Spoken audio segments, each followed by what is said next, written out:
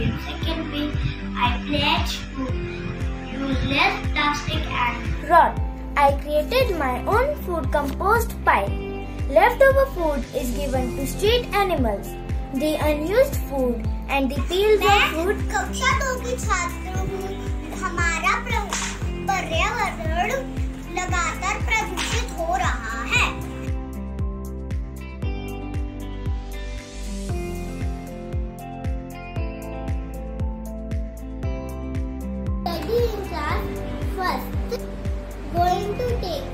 Going to take a pledge.